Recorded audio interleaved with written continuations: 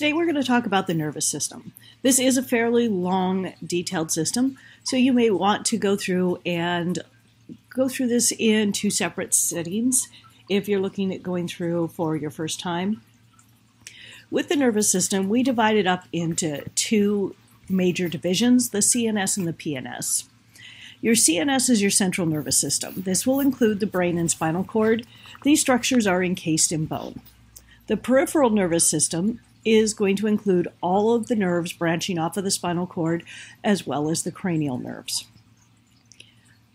Functions of the nervous system it's going to have sensory functions. They're going to perceive stimuli going on in the body or the environment. Motor functions, they're going to send a message out to carry out a response. And integrative functions, these are going to process the information from the body and determine the appropriate response. So the image you see here is an illustration of a brain and then a cerebellum behind it with the brainstem. There is not a big gaping space here. I just like the image because it's simple and easy to see. Down below, you've got some illustrations of some neurons. They do take on different shapes. So some of them are more pyramidal shape, some are more circular shape, and various other shapes. So looking at how the nervous system is organized, you've got the CNS and the PNS. Within the PNS, we divide that up into two subsystems the somatic nervous system, which is going to be things that are under voluntary control in the body, things that you'll have conscious awareness of. And then the autonomic nervous system, it's going to be things that you do not have conscious awareness of or conscious control of. It happens automatically. With the autonomic nervous system, it will operate in one of two modes. The sympathetic mode is your fight or flight mode. This is going to be under a high stress situation. The parasympathetic is your rest and digest mode. This is what you should be functioning in most of the time. So, when we look at the parts of the neuron, the cell body is going to contain the nucleus. So, here is just a general illustration of a neuron here. It's a motor neuron for an example. The dendrite is going to be the receiving end. It will receive messages and carry them towards the cell body. The axon is the sending end. It's going to take messages away from the cell body. When you have a neuron meet up with another neuron or another tissue that it's going to talk to, it will form a synapse, which is the site of communication. Your neuroglia are support cells. Their job is to nourish and protect the neurons. Neurons do not generally heal very well, if at all. So we have a lot of neuroglia that are there with the primary purpose is protecting the neurons. A myelin sheath is a fatty protective sheath that you'll see around a neuron. It's made up of the fatty acid DHA. And you can see this neuron here is illustrated to have myelin. The nodes of Ranvier are the little spaces between the sections of myelin. Schwann cells are going to form the myelin sheath in the PNS. They are one of the support cells. We do have myelin in some of the CNS. That's going to be formed by oligodendrocytes. The neurolemma is a thin sheath that's going to surround a nerve cell. Another type of support cell we have is the astrocyte. They're called this because of their star shape. They'll provide physical and metabolic support. And then the microglia are going to be immune cells of the nervous system. So when we have clusters of cells together that are myelinated, we refer to it as the white matter. The gray matter is going to be the unmyelinated cells. They are named that because the white matter is a little bit lighter in color, the gray matter is a little bit darker in color. Neither one are truly white or gray. They're just basically a lighter beige and a darker beige. So, in creating the action potential, when we say a neuron is polarized, it means it has membrane potential. The inside of the cell is relatively negative compared to the outside of the cell. This is created using these sodium potassium pumps. If you look on a battery, you'll notice that one end of it is relatively positive, one end is relatively negative. That separation of charges is what allows the battery to do work for us. It's going to be the same thing with your cells. When they have separation of charges, allowing those charges to come back together is when it will do work for you. Your resting membrane potential is the voltage across the plasma membrane. It just happens to be a small battery at negative 70 millivolts, but you have a lot of them. The stimulus is going to be what changes the resting potential. It's like what turns your device that's controlled by the battery on and off. Your threshold is the critical level of depolarization. This is at about 55 millivolts. That's where depolarization is going to occur. This is how much stimulus it's going to take. If there isn't enough stimulus to reach the threshold, it's not going to turn on or send the message.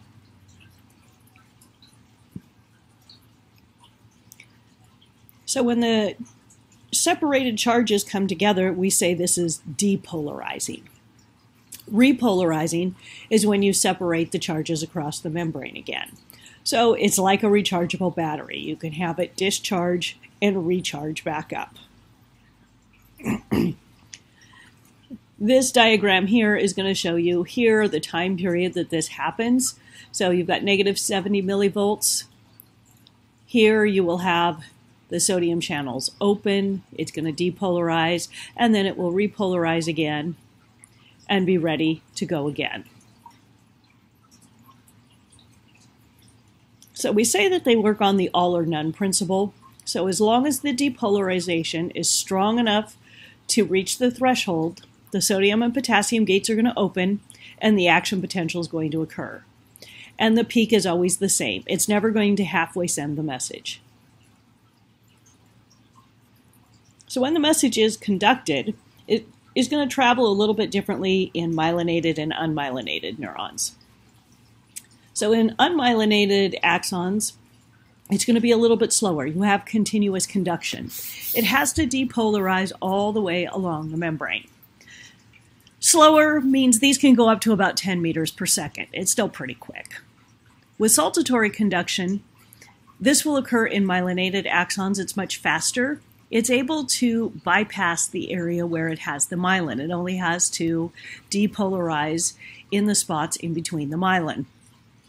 This can go up to about 100 meters per second.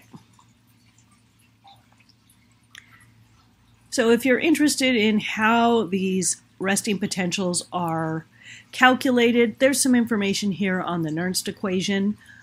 Um, I can honestly say I've never had to use it for anything. It's there more just to satisfy your curiosity. So when we look at synaptic transmission, the neuron that is going to be before the synapse or delivering the stimulus to the synapse is the presynaptic neuron. The postsynaptic neuron is going to be on the other side receiving the stimulus from the synapse. You can have multiple neurons in a line, so it may be presynaptic in one relationship and postsynaptic in the next relationship. So your impulse is going to travel down that presynaptic neuron at the presynaptic end and depolarize. When it gets to the synapse, the neurotransmitter will be released, and then the postsynaptic neuron will depolarize. So with neurotransmitters here, we have little bits of information on neurotransmitters.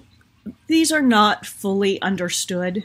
A lot of times, what we've learned with neurotransmitters is when we have had pharmaceutical agents that may mimic or block them, and we figure out when we put them in the body some other places where they have an effect. So, what you're learning in here is just kind of some key features for the neurotransmitters. So, the first group is the small molecule neurotransmitters. First one is glutamate. It's an amino acid. It's excitatory, which means it's going to turn something on. It plays possible roles in learning and memory, as well as potentially being involved with Alzheimer's and epilepsy. You may see learning, memory, and some of these functions will be influenced by multiple neurotransmitters. These are very complex functions in the body, and so there's more than one thing involved with controlling them. Aspartate is also an amino acid. This one is excitatory as well. GABA is gamma aminobutyric acid. This one's inhibitory, so it's going to block things or shut them down. It's only found in the CNS.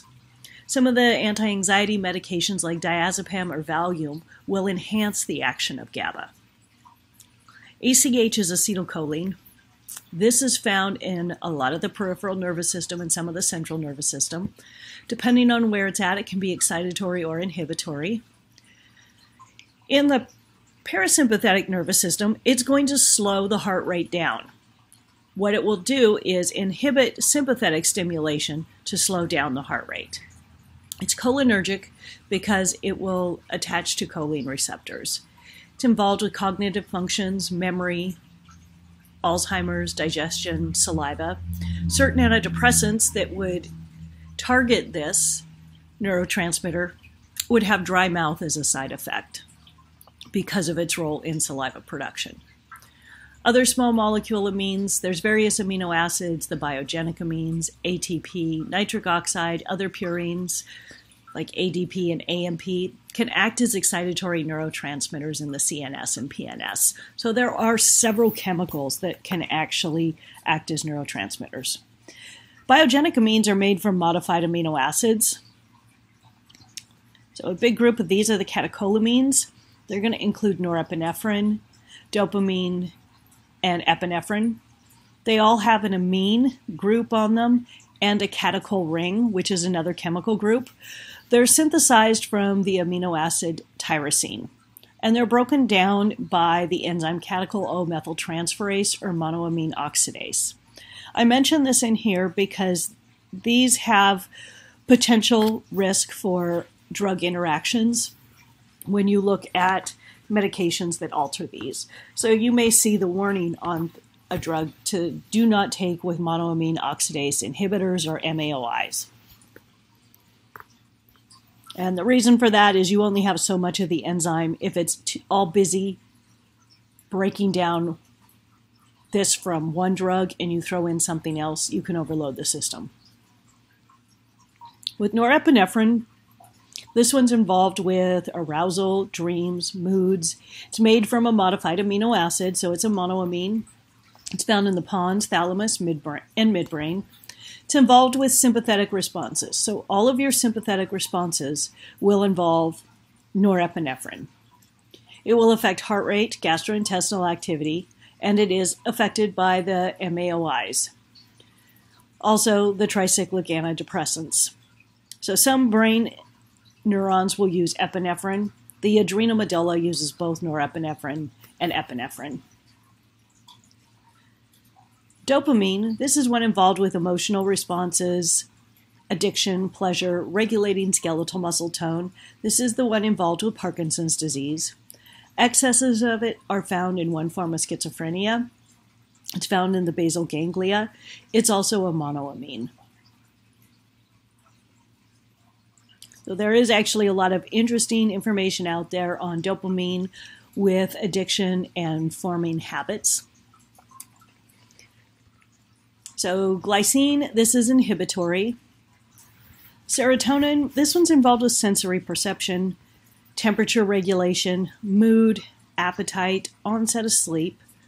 It's made from tryptophan. So the supplement 5-HTP or 5-hydroxytryptophan can alter levels of this. If a person is taking a serotonin reuptake inhibitor drug, they need to use a lot of caution if they're going to take that supplement, it's probably not a good idea. Um, St. John's wort is another thing that will affect levels of this. So just because they are a natural product doesn't mean they can't potentially have interactions with other drugs or cause damage. It's also involved with pain perception, blood pressure, hormone activity. It's found in the cerebral cortex and spinal cord. It's concentrated in the raphe nucleus of the brain, also found in the gastrointestinal and cardiovascular system. So, some of the illegal drugs, like ecstasy, will actually trigger massive releases of serotonin. Serotonin sickness can be very serious and potentially fatal for a person. So, they're not really a good idea to play around with.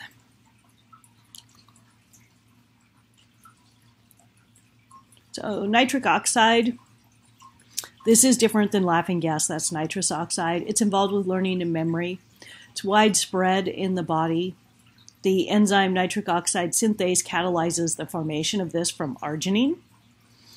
Unlike other neurotransmitters, which are prepackaged, this is going to be produced on demand and is going to act immediately.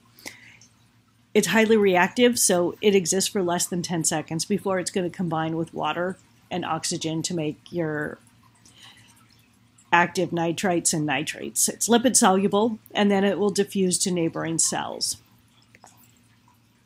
So it activates enzymes for a second messenger system. They discovered it in 1987 in the blood vessels and endothelial cells.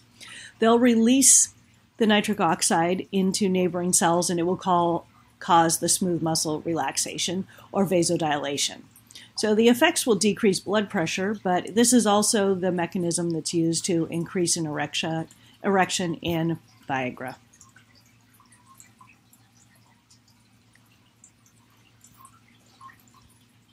So nitric oxide is toxic to phagocytic cells. So some neuropeptides, we have substance P that's found in sensory neurons and the spinal cord. It's used for pain perception. The enkephalins are going to inhibit pain. They're going to suppress substance P. They may also play a role in learning, memory, body temperature, sexual activity, and be involved with mental illness. The endorphins, they're a natural painkiller. It may inhibit pain by suppressing substance P, involved with memory, learning, states of euphoria and pleasure, body temperature, sexual activity, and mental illness.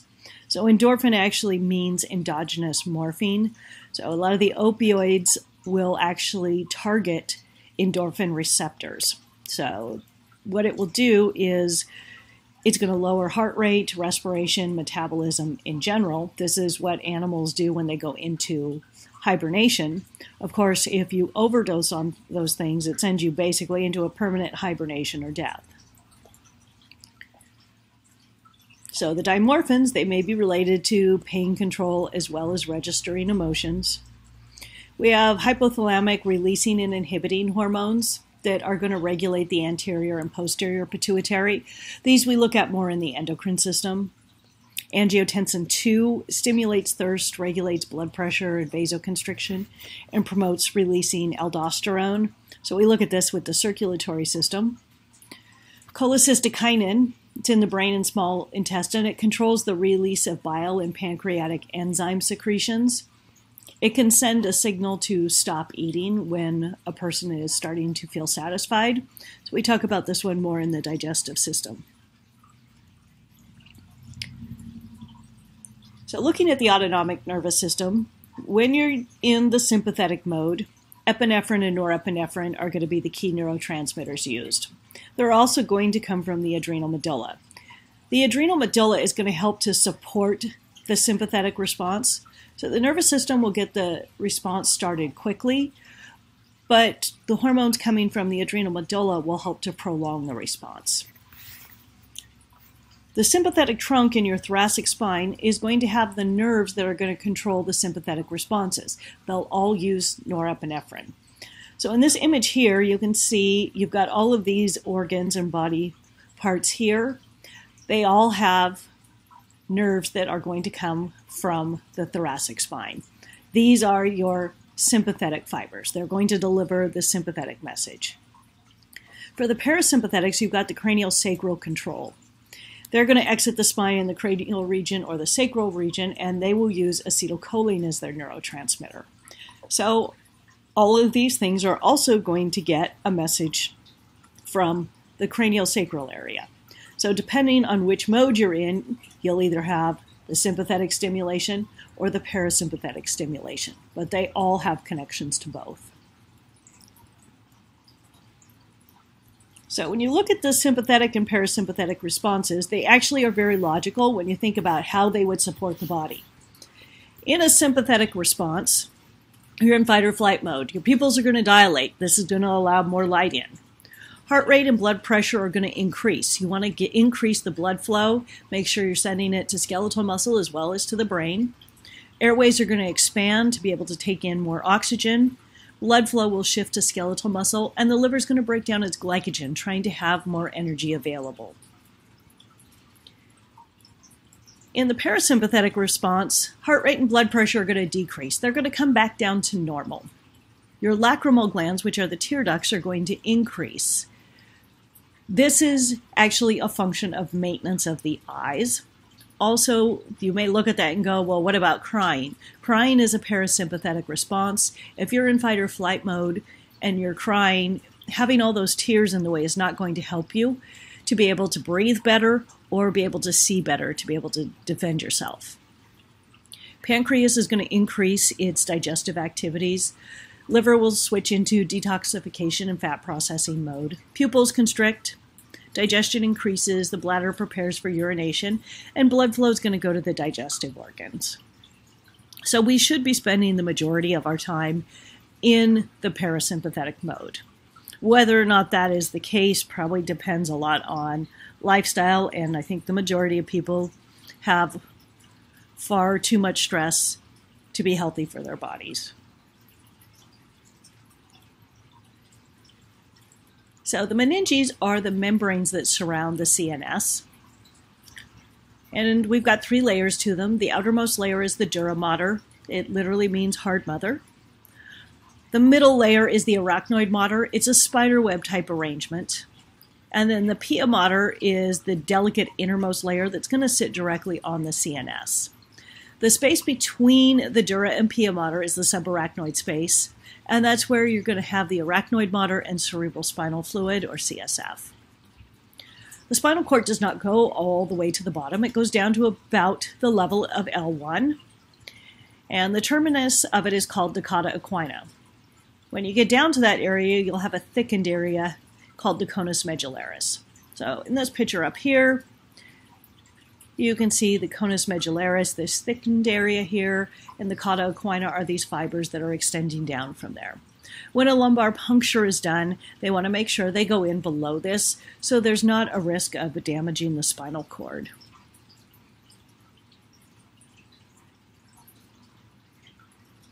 If we take a cross section of a spinal cord, we can see where you're going to have this H shaped area of gray matter, and then you'll have the white matter around it.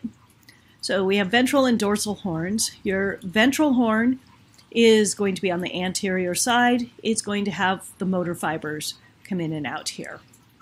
The dorsal horn on the posterior side is going to have the sensory fibers. These fibers come out to the side from both of them, and they're going to exit as the spinal nerves, carrying both motor and sensory fibers.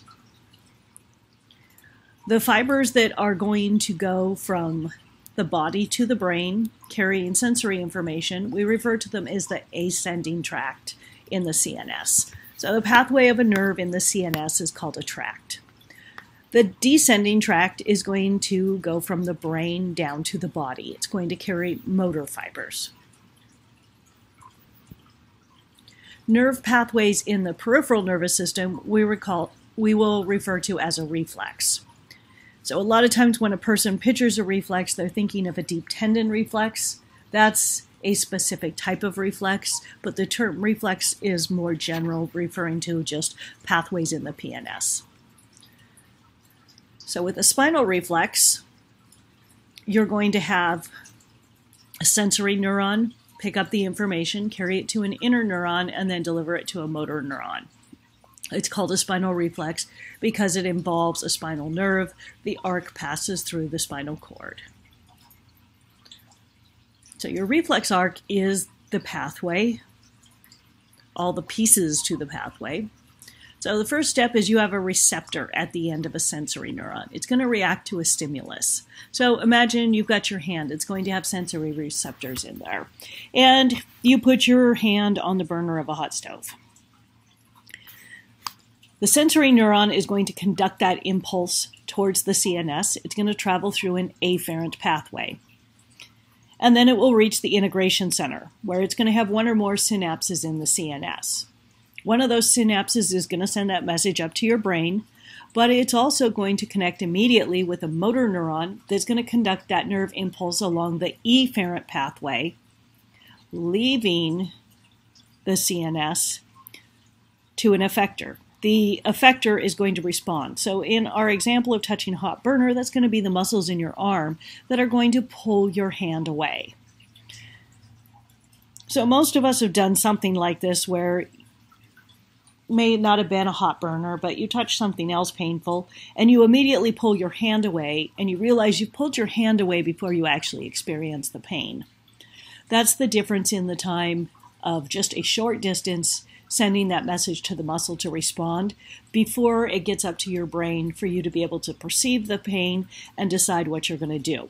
So it's there as a self preservation mechanism for us. If you had to wait for that message to get up to your brain and you go, oh, that really hurts, that's burning my hand, I should pull it away before I cause too much damage, a whole lot more damage is going to happen in that time frame than you quickly responding and pulling your hand away. So the effector, it may be a muscle or it could be a gland and then secrete a product.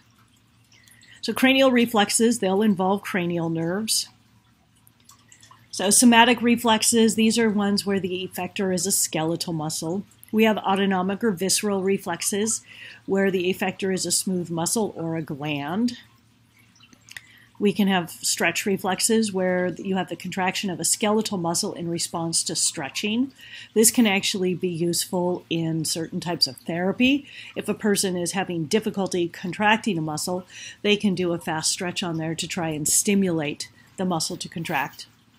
Deep tendon reflexes, these cause relaxation to prevent tendon tear. So there's tension applied to the tendon, and it gets the message sent that there's some really fast tension coming on here, and it will actually inhibit the motor neuron and cause the muscle to relax because it's afraid it's going to contract too quickly and cause damage. So with the spinal nerves, they're going to exit through the IVF or intervertebral foramina. So here on this picture, you've got two vertebrae. This little space here that's created between these two bones together on the side is the intervertebral foramina, and that's where the spinal nerve is going to exit. So endoneurium is going to be the membrane that surrounds that peripheral nerve, and it will be mixed because it's going to carry both motor and sensory information. Some of the time when the nerves come out, they're going to form a plexus where they will recombine after they exit the spinal cord. For example, here, this is a brachial plexus. You have nerves coming out of the spinal cord here, and you'll notice as you follow this one, you have part of the fibers from this one merge, and then they'll divide off, and this is going to have some fibers from up here, and they recombine.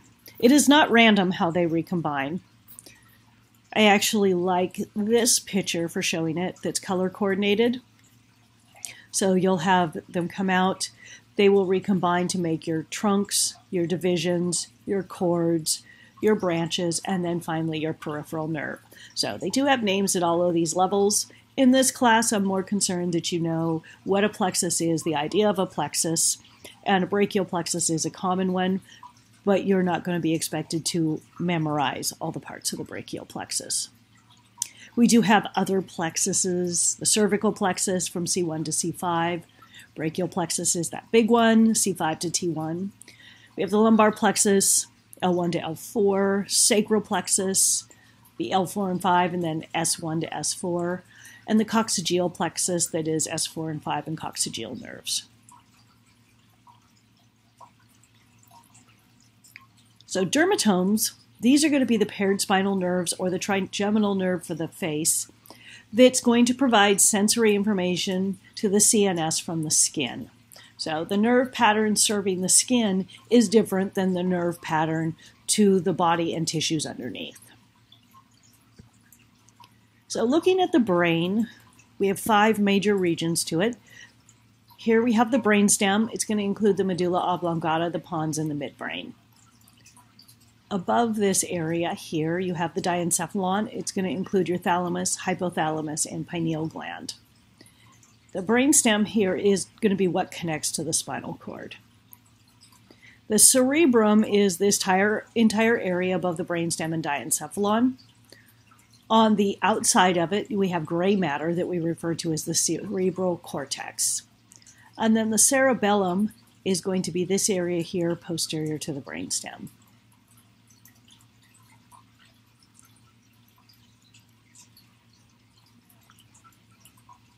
So your CSF is cerebral spinal fluid.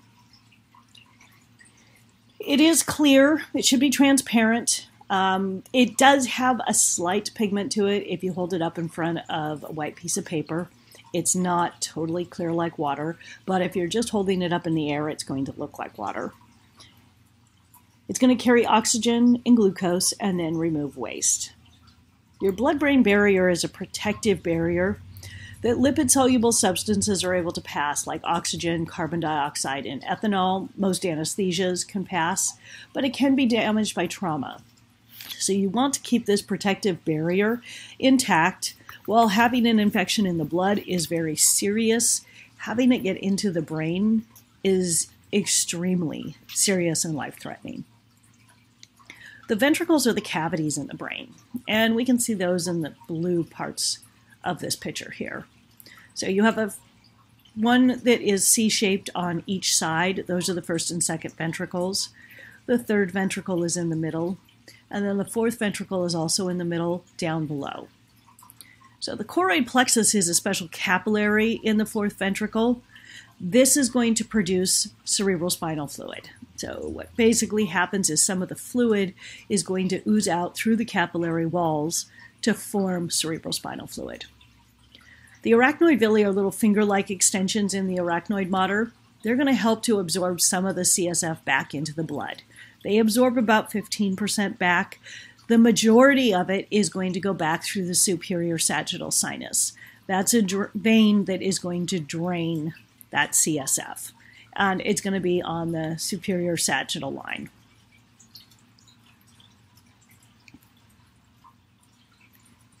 So looking in a little more detail at the brainstem, we have the medulla oblongata. It's going to have sensory and motor tracts pass through here. It's got a cardiovascular center. It will control heart rate, vasodilation. There's rhythmicity centers for breathing. There is a vomiting center. Controls deglutition, which is swallowing. Coughing, sneezing, hiccups are controlled in this area. All of the brainstem is controlling vital functions that help keep you alive, you don't have conscious control over these, which is really probably in our best interest, since if they are damaged, we're not going to survive on our own. So with the vomiting center here, this is one of the reasons sometimes with a upper cervical injury, a person can have vomiting that will go with it. The pons, pons means bridge. It's going to be a relay station for the tracks, so it will help to control breathing as well. There are going to be nuclei of cranial nerves 5, 6, 7, and 8, which are just collections of neuron cell bodies and relays. So you can think of it as kind of like being a relay handoff for a running race. The nerve is going to pass the information from one neuron to the next neuron. The midbrain will connect the pons to the diencephalon, it's going to have more motor and sensory connections. There's a little dark area in there called the substantia nigra that releases dopamine. This is where Parkinson's disease occurs. It's one of the areas involved with consciousness and sleep.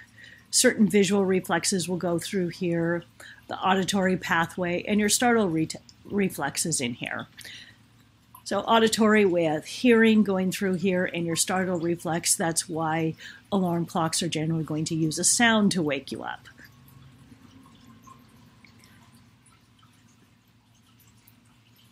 In the diencephalon, we have the thalamus. It's a big relay station. It's involved with the acquisition of knowledge and cognition, and also helping to maintain consciousness.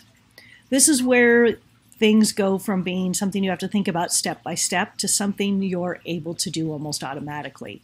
If you think about when you first learned how to drive, you stopped to think about the steps of the process a lot more. You thought about where you put the key in, you looked at the key to make sure you had the right key put on the seatbelt, checked the mirrors, looked around in the car. Is everything set where you like it? Today, when you drive to go somewhere, you probably remember very little of the process between getting in your car and ending up where you want to be. This is why you can, on your days off, you go out and you get in your car and you're not really concentrating on things, and you may find that, oops, I drove to work that day when it was your day off when things become very familiar with that, they will go through what we call a direct activation pathway in the brain. It's like getting on express lanes. You get on, there's not a lot of exits to think about, you get off at the other end. When you're first learning how to do something, you have to take the back roads. So there's a lot more pathways and connections you have to make. You've probably been told at some point don't change your answer on a test, trust what comes through first. If you have studied it, it's more likely to move into the direct activation pathway and come to you first. It's when you decide that you're going to take conscious control and navigate the back ways to double check things that you have the potential for error. So there actually is some real reasoning behind that saying do not change your answers on a test. The hypothalamus, this is going to control the autonomic nervous system. So, this in turn will end up controlling your smooth and cardiac muscle because they're under autonomic control. This is going to control the pituitary, which is going to control the release of several other hormones. Emotion and behavior are in here things like rage, aggression, pain, pleasure, sexual emotions. Eating and drinking. So, thirst is actually a response to a change in the osmotic pressure of the cerebral spinal fluid, hunger, body temperature, it will help to direct blood flow. When you're warm, it's going to send blood flow out to the surface of the skin. When you're cold, it's going to pull it in towards the core of your body. If you've ever wondered why you can take a car ride someplace, you get out, maybe you're going to play in the snow, you get out, it's cold, you put all those extra clothes on, and as soon as you get all those clothes on, you got to run to the bathroom. What's happened is you got cold, it pulls all that blood flow in. You need to displace some of the fluid, and it gets displaced through urine. And then your circadian rhythms, wake and sleep cycles are also going to be influenced by this area. The pineal gland, going to be just below here, it's going to produce melatonin, which will also affect those biorhythms for wake and sleep cycle. Light is going to inhibit the production, which will allow for more of a waking state. Darkness will allow the production of melatonin, and that will promote more of a sleeping state. So we do naturally tend to want to get up with the daylight and sleep in the dark. The Haber nuclei, this area is going to have clusters of nuclei that are involved with olfaction and emotional responses. So we think the reason that you can have emotional responses and memories be tr- triggered by certain smells is the close proximity of where they are located together in the brain. The cerebellum. Its job is to smooth and coordinate movements. It will be involved with your balance and posture. It's going to take sensory information from your tendons, your joints, equilibrium from the inner ear, and visual impulses, and it's going to coordinate all of that information together.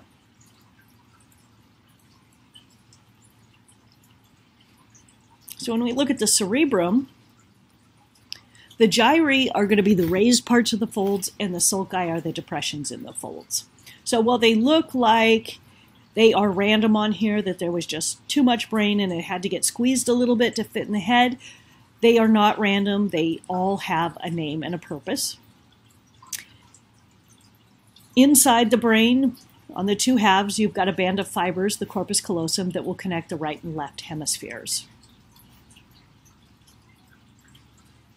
So your frontal lobe is going to be in the front here. It's going to be your primary motor area. So here in your precentral gyrus, this is where you're going to initiate movement from. The parietal lobe, this is the somatosensory area. This post-central gyrus will be where you have your sensory information be first perceived. And then in the back, we've got the occipital lobe, which is going to have your visual area. And then the temporal lobe here on the sides, it's auditory and olfactory. The olfactory bulbs from your nose are going to have a short track to the medial part of it. Makes sense, nose is in the middle of your face. The auditory area will go into more of the lateral temporal lobe, which your ears are on the side of your head. It's going to be closer. We have a couple of specialized areas that are for language. that are primarily on the left side. So Wernicke's area is going to do with interpreting spoken word. So it's not really about hearing it, but understanding what is said to you. Broca's area is involved with producing speech, sensible speech. So it's not about making the noise, but actually conveying the meaning in the speech. So, the way the blood flow of the brain works, these two areas are commonly affected by strokes. And so, if a person cannot understand what's being said to them, we say they have a Wernicke's aphasia. If they are not producing sensible speech, they have a Broca's aphasia. And they can have both of them occur together where they do not make any sense and they don't understand anything. So, your basal ganglia, they're actually nuclei because they're in the CNS. Ganglia typically occur outside in the CNS. They're deep within the cerebral hemispheres. They're going to receive input from the cerebral hemispheres and send output back to the motor area through the thalamic nuclei. This will help in initiating and terminating movements. They can influence sensory, limbic, cognitive, linguistic functions, influence Parkinson's disease and schizophrenia. So basically, it's a way for parts of the brain to communicate and give feedback to each other so that our activities are coordinated. Your limbic system, this region's involved with emotions, also olfaction, memory, extreme pleasure and pain, fear, aggression, and expressing appropriate emotions. So the electroencephalogram is a way of us being able to measure brain waves. It's going to look at electrical activity. So alpha waves are 8 to 13 hertz. These are seen in normal individuals when they're awake or resting with their eyes closed.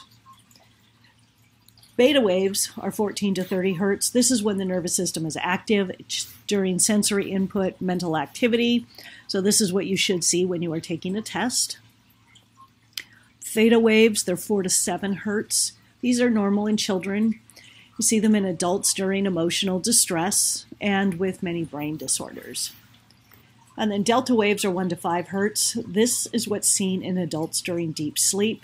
It's normal in an awake infant. If you see this in an awake adult, it's going to indicate brain damage. So while the hemispheres of the brain appear symmetrical, they're not exactly symmetrical in function. So your left hemisphere is going to control somatosensory information on the right side. The information crosses to the other side of the body. Right hemisphere will control somatosensory on the left side. The left hemisphere is more involved with things like reasoning, numerical and scientific skills, sign language, spoken and written language, where the right side is more involved with music, artistic awareness, spatial and pattern perception, being able to compare mental images to spatial relationships, recognizing faces and emotional expression, identifying and discriminating odors, and the emotional content of language. So, we all do have both sides of the brain. We do use both of them, although for some people, they may have a slight dominance of one side over the other. So for the cranial nerves, there are 12 of them. There are several mnemonics out there that you can find in your textbooks or online that help you remember them. They all have a name and a Roman numeral. Fortunately, when you identify them on a brain, they go from front to back, anterior to posterior, so it makes it a little bit easier to identify them. So, cranial nerve 1, the olfactory nerve, Olfaction is your sense of smell. Cranial nerve 2, the optic nerve. This is the one that's going to actually carry the visual impulses to the back of the brain. Vision takes a lot of optic nerve power. Cranial nerve 3 is also involved with vision, the oculomotor nerve. It's going to involve eyelid movement, eyeball movement, and pupil constriction. So one of the ways that we test for this is to shine the light in the eye. You should see both pupils constrict, because that reflex should be connected on both sides of the brain. Cranial nerve 4, the trochlear nerve. That is also going to control eyeball movement and mechanoreception. Mechanoreception is knowing where your body parts are in space. If you reach your hand behind your back, you can feel that it's behind your back. You don't have to go look in the mirror and see where did it go. Cranial nerve 5 is the trigeminal nerve. This is going to spread out over the face. So there's three branches to it, the ophthalmic, maxillary, and mandibular. This will be involved with touch, pain, temperature, mechanoreception, and chewing. Six is the abducens nerve, more eyeball movement and mechanoreception. So, the reason for the cardinal fields of gaze test and having the person move their eyeballs in different directions is different cranial nerves are going to control different muscles on the eye and move it in different directions. So, it's a way to check and make sure that they are all working properly. The facial nerve, this is going to be involved with facial expression, taste, it's going to be taste to the anterior two thirds of the tongue, mechanoreception, tears, and saliva. Eight is the vestibular cochlear nerve.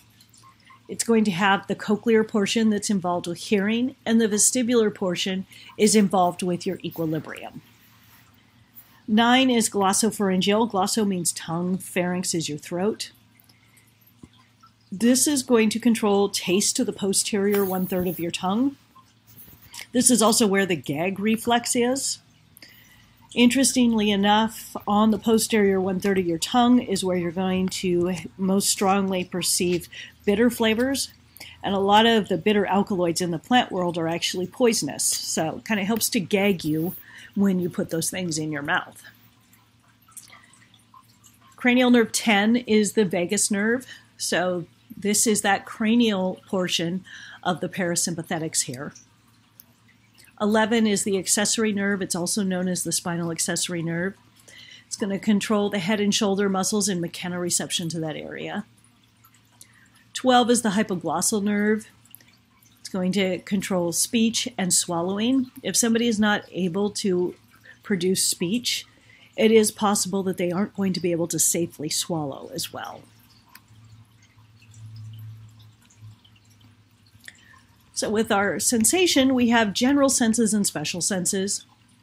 General senses can be done all over the body, they don't have a special sensory receptor. They would include things like tactile, which is touch, pressure and vibration, itch, pain, thermal, mechanoreception. You can do that all over the body. One of the features of these is they will undergo adaptation. You'll have decreased sensation with prolonged stimulation. If you've ever had your glasses on your head and you're wondering where you put them because you just no longer feel them, this is why you generally don't notice your jewelry that you're wearing you usually won't perceive your clothes being on your body at the end of the day. It's a way for the brain to filter out stimulation that it just doesn't really need to dedicate the energy to anymore. So, somatic sensations are ones that we're consciously aware of. They are your general sensations. They can be mapped out on the cerebral cortex using a motor or sensory map. Sometimes they'll draw it out to represent a little body laying over the brain with a homunculus. Visceral sensations are going to report the conditions within the body. You don't have a lot of conscious awareness over these. If you think about it, if you poke yourself with a pin on the finger, you can identify exactly where the pain is. If you have visceral pain, it's much harder to pinpoint and describe exactly what that pain is like. We don't have a whole lot of pain receptors in that area, but we do have a lot of receptors taking care of other things like when and how you're going to digest your food. So, looking at the tactile senses or touch, we've got the Meissner's corpuscles. These are going to be responsible for touch in the dermal papillae. So, we talked about those already in the skin. The Merkel's discs, or the type 1 cutaneous mechanoreceptors, they're located in the stratum basale of the epidermis. So, more touch. And then one that is new is the Ruffini corpuscle. So, we have not talked about this one yet, is why it's new type 2 cutaneous mechanoreceptors. It's in the deep dermis of the skin. So the Pacinian corpuscles, these will sense pressure and vibration. So, itch, this is perceived by free nerve endings. Free nerve endings don't really have any specialization, so they can be used for pain, thermal sensation, itch, tickle, and some touch. So, thermal sensations are just warm and cold using those free nerve endings. With pain, we use nociceptors or free nerve endings for pain. Nociception means pain. Referred pain can be kind of confusing for people. It's pain felt in an area overlying an organ distant from the stimulated organ. Where you feel the pain is not where the source of the pain is. And a lot of times a person will be like, well, that's not where it's hurting. That's not where it's hurting. And usually, when you can explain to them and get them to understand this concept, that we know with the heart, it can refer pain to the jaw or into the arms those aren't even really close to the heart. So that's the idea with referred pain. We think there may be some embryological connections from how the tissue migrated as to why we have these patterns. We're not 100% sure on them. Fast pain is a rapid, acute, sharp, prickling pain, where slow pain is a dull, gradual, increasing, chronic, throbbing type pain. One other kind of pain that's not listed on here, but people are generally interested in, is phantom pain. Phantom pain is having pain in a body part you no longer have. So if somebody's had a body part amputated, that part of the brain is not amputated. The brain can still actually perceive things in there. And it isn't always just pain, it may be that they would have something itch. It's really frustrating for them because if your left arm itches and you don't have a left arm anymore, there really isn't anything you can do to soothe that either. But we have learned about some other neurons that are mirror neurons and sympathy neurons from looking at ways to try and help these people. So, mechanoreception or proprioception, it's your joint position sense. You know where your body parts are relative to other parts of your body. So, your special senses, these are going to require a special sensory organ. They're all on your head sight, sound, taste, smell, and equilibrium. So, olfaction is your sense of smell. The olfactory bulb here is going to go from your nose and it will extend back below the frontal lobes. Your olfactory tract will go back to the primary olfactory area, which is in the medial temporal lobe and it's going to be closely tied to emotions, memory. Pheromones are going to be ones that cause attraction and then excitement. So, what happens is when you smell things, they are aerosolized molecules, they're chemicals that will trigger certain patterns in, patterns in these cilia in the mucosa. These are cilia, they are not nose hairs. You'll stimulate that particular pattern and it will send that information up along the neuron to the olfactory nerve, and then it will pass that on to the brain. So, as humans, our sense of smell is not great. A lot of times we can look at something like an air freshener that smells like a strawberry, and to you and I, you go, oh, yeah, it smells like strawberries. There's actually no strawberry in it in a lot of cases. Your dog, on the other hand, does not think that smells like a strawberry. They have many more receptors here and can tell the difference in here. Think of it almost like notes on a keyboard. You got the little kid's piano that has eight notes. The dog got the full size piano. So that's why we will use animals to sniff out bombs, drugs, various other things. They can actually even smell certain diseases in people where we just do not have the sensory receptors for that as humans. So, taste or gustation. There are four primary types of taste buds that we have sour, bitter, sweet, and salty. And then we also have one called umami, which is picking up savory flavors. Those would be flavors of things like meat, cheese, mushrooms. They're actually the things that are enhanced by MSG. So, where these are distributed on the tongue is different. Sweet is more on the tip of the tongue. Bitter is on the posterior aspect of the tongue. salty and sour are along the sides. So I've seen some textbooks that will put salty and sour both on the sides. Some separate salty to the side and put sour in the middle.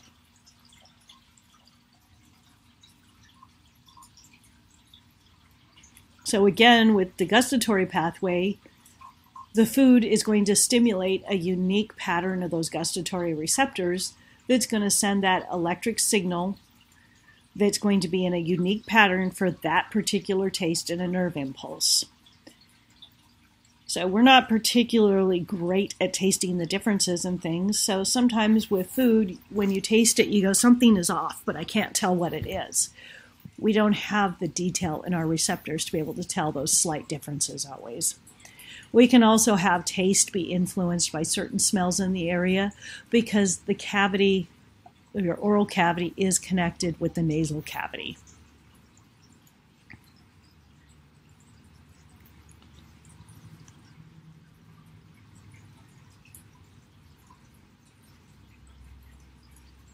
So for vision,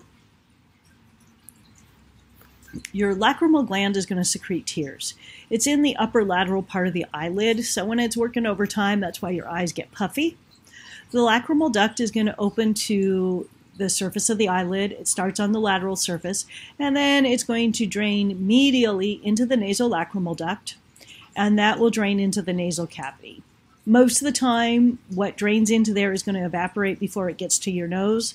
However, if you're crying, what's going to happen is your nose is going to start running eventually because you're going to have a lot more liquid coming down into that duct. When you exceed that, what that duct can carry, then the tears spill over onto the face. Tears will have lysozyme in there to help kill bacteria. The eyeball has three layers or tunics fibrous layer, vascular layer, and nerve layer. So your cornea it's labeled on this picture as being over this part of the eye, but really to be able to see it, you've got to look at it on this view. It's this bubble here that you see. It's fibrous transparent coat over the iris. The iris is the colored part. This is the area that can get cataracts. The conjunctiva is going to line the eyelid and the anterior surface of the eye. So it can line the eyelid, it folds back, comes over and around the eye, and then back up again. So conjunctivitis is inflammation of it. Pink eye can cause that. The conjunctiva can become really irritated with allergies as well, and you'll see it swell. The sclera is the white of the eye. So over here on the sides, that would be the sclera. It's fibrous, dense connective tissue. It helps to give the eye shape. And then the retina is the actual nerve layer here on the back. It's going to be the inner coat that lines the posterior surface of the eye. That's the actual sensory organ. Your choroid is the vascular layer. It's a thin membrane lining the internal surface of the sclera. And then the retina sits on top of this choroid. So when a person's eyes are bloodshot, what you're seeing is some of those blood vessels in the choroid be broken. The lens is the transparent part that's going to focus light on the retina. A lot of times people think this is the lens out here. That's the cornea. Deeper in, you have the lens. So when the image is going to come through, it's going to bend the light at 90 degrees, so the image is projected upside down onto the retina.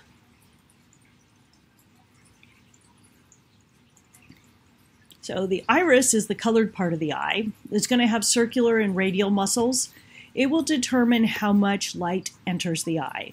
If you've looked at the iris of a camera, you can see how it, that hole will get bigger and smaller. The pupil is the hole in the center of the iris of the eye. So for our sensory cells, we've got rods and cones. Rods are going to be for the grayscale. They'll give you your black and white vision. These are going to be what you have to rely on in dim light. They'll give visual acuity. They're going to sense movements a lot better. If you see something out of the corner of your eye, you perceive some movement there, it was the rods that picked that up. The cones are for color vision, and those are going to be three different types. It's similar to the three primary colors, but we call them cyan, yellow, green, and magenta. The fovea centralis is a small depression in the center of the retina. That's where the cones are most concentrated, so you're going to see color best right in front of you. The optic disc, this is where you've got axons of the cell extend into a small area of the retina. It's almost like a seam there that's going to form a blind spot because that's where the nerve fibers are connecting and you don't actually have sensory cells there. The vitreous body, this is a clear jelly like substance in the inner eye.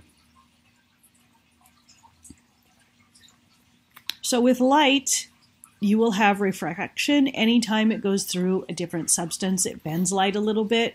If you've been in the water and you open your eyes, you'll notice that your hands look really big in the water. It's bending of light that causes that to happen.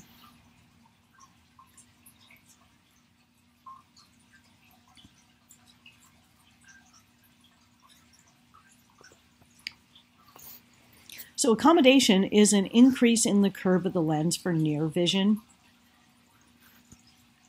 So to be able to focus on things, you need to be able to change how much that lens is curved to help focus things close up or farther away.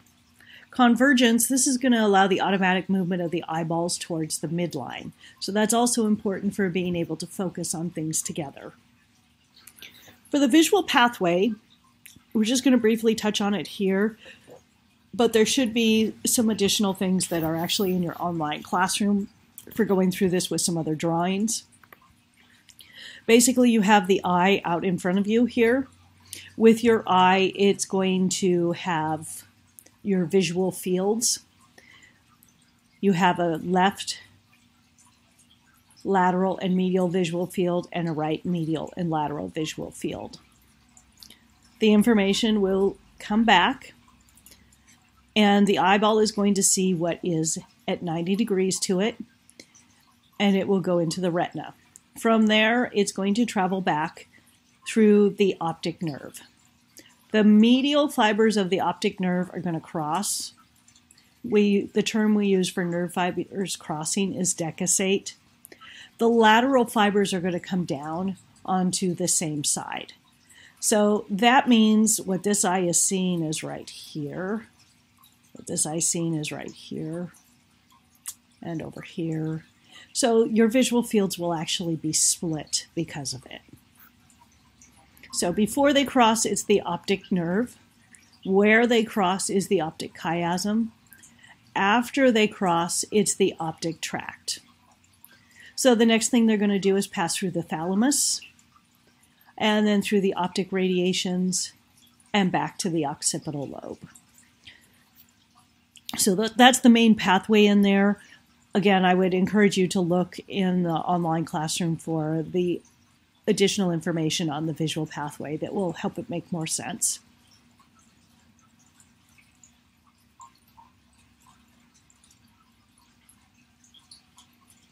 So this one also shows the visual pathway. I like this picture a little bit better because you can see over here, this part of the eye is actually seeing what's the right eyeball is actually seeing what's on the left side here, the left eyeball seeing what's on the right side of the image.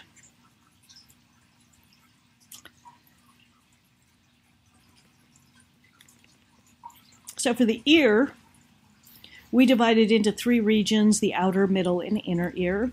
The job of the outer ear is to collect sound waves.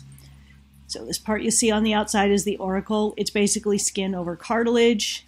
Um, if you poke a hole in it, it may bleed and it's not going to feel good. So when you pierce it, you can feel it.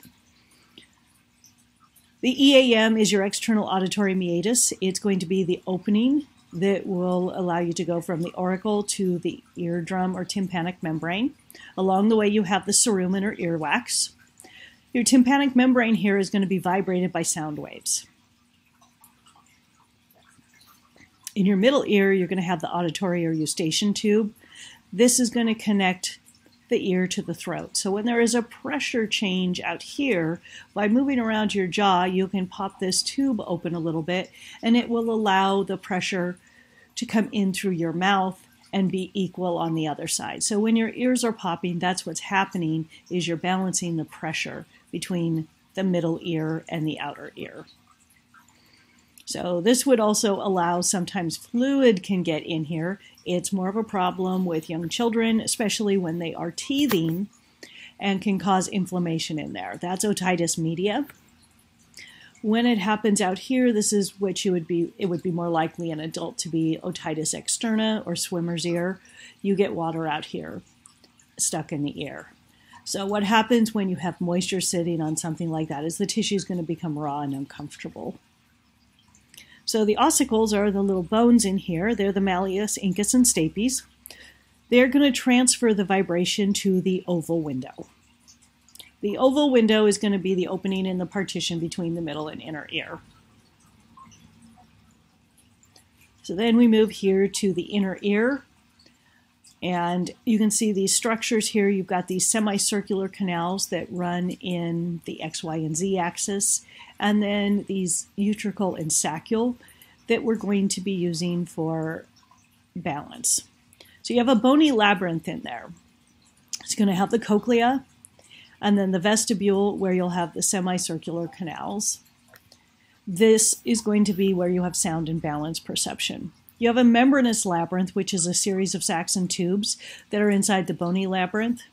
You're going to have endolymph inside of there.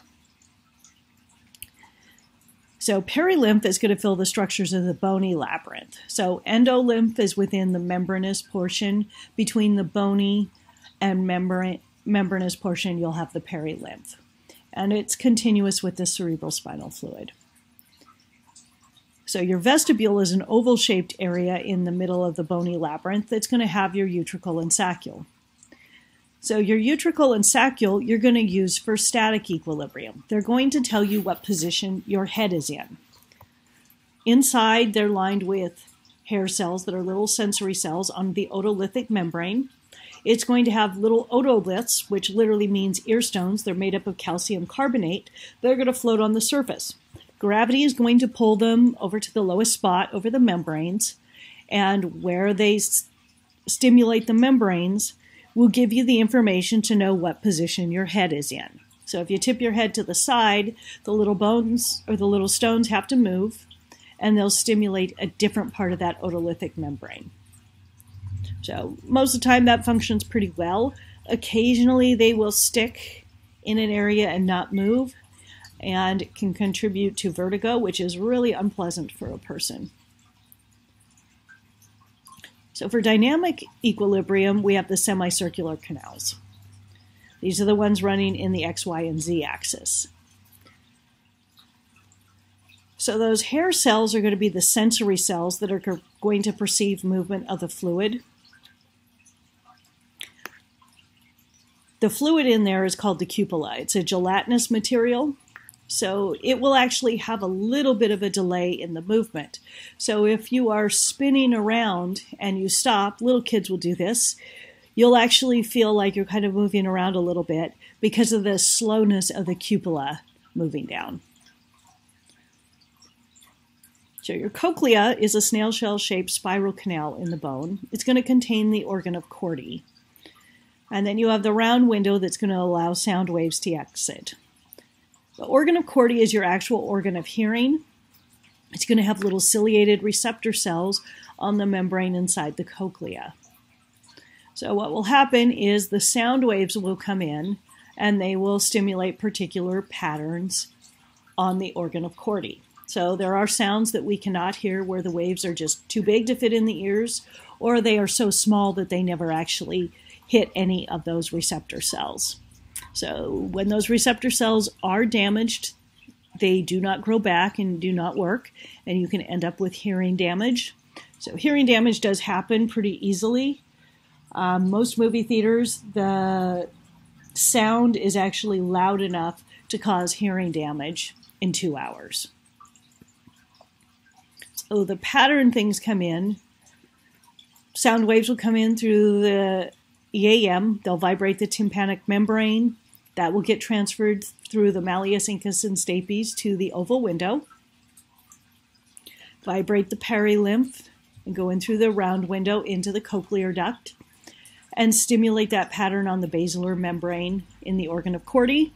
And then cranial nerve 8 will deliver that to the temporal lobe. For equilibrium, cranial nerve 8 is also going to take that information to the brainstem and the cerebellum, uh, particularly into the medulla oblongata, and it's going to coordinate the information with input from the eyes, mechanoreceptors, what your static and dynamic equilibrium say is going on. So when a person has motion sickness, there's disagreement in there. So when you have motion sickness, the best bet is to try and get as much agreement with that information as possible.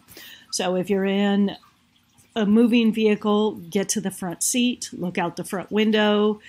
For a lot of people reading, your eyes will be perceiving that you're not moving if you're reading. If you look out the window, out straight out in front of you, and you can see that you're moving, it will help. Um, there are medications that can be taken prior to motion sickness starting. Once motion sickness starts, the medication is generally not real helpful. So if you've had motion sickness, you know it's a pretty miserable thing. So this is the end of the section on the nervous system.